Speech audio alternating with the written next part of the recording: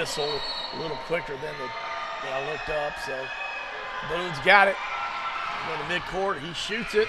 Oh my goodness. Wow. What a shot. Uh, what a shot. A lot of credit to Boone. Again, LCA did exactly what they wanted to do have him catch it close to the baseline, dribble it up, but a half court heave uh, from, from Boone uh, is going to give Bryan Station a one point lead here on senior night against LCA. A lot of credit to that young man. Had a great game, 25 points. Uh, just really a, a, a, tough loss for LCA on a huge shot uh, by Eric Boone. Wow, unbelievable.